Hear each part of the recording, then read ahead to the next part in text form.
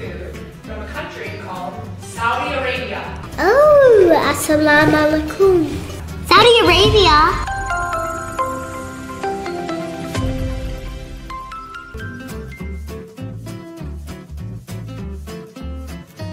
What do you say to all the picky eaters out there? Just try it. That's what I do. Why? To see if you like it.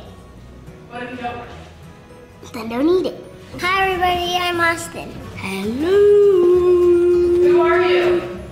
JQ. Looks like a big giant bug. That looks like pudding. This tastes like pudding. Mmm. This dish is called salig. Soli?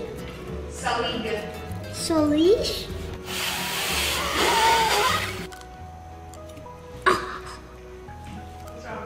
Kuha. This rice pudding. Rice pudding? Mmm. What are you looking at? Hey, the dish is kind of hot, so don't burn yourself, okay? And open. What is this?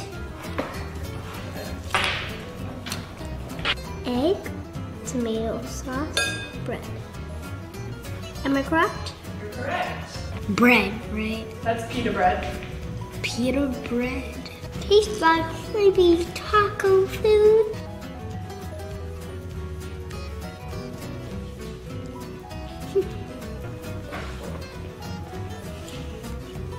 Let's watch what I do with the egg. Push it and it doesn't break. Broke it and it doesn't break. How's the yolk? The yolk is good.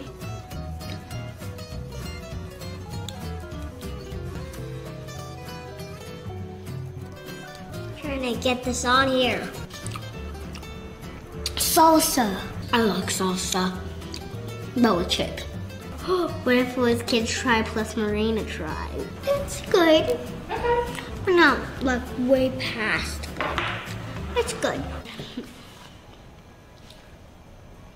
Mmm. It's warm. Open. Are these mushrooms? No. smells like.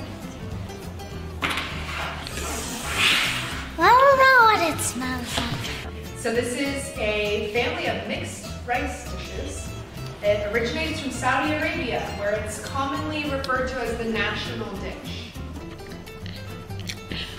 I don't really like the light rice. I do like it. How's the rice?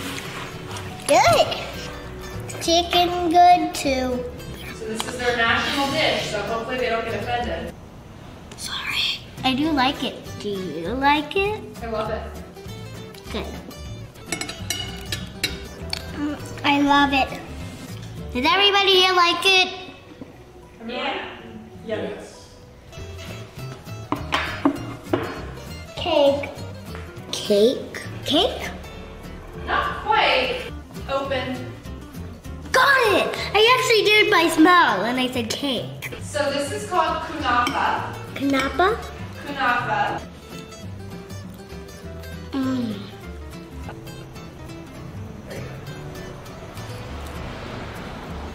Don't like the texture. It's just too honeous. Mmm. That's syrup. It's soaked in syrup. It's too soapy. It's a Middle Eastern dessert. There's walnuts and raisins on top. And it's made with shredded phyllo dough. Syrup. Does syrup taste like syrup? This dessert, we had a really similar one in our Turkey episode. Hmm. I have this. 100 thumbs up for this. Yeah, it's good, but if it was less sweet, it would be better. Good. Goodbye. I'll eat you later. Shukran for watching. Here to describe. See you next time.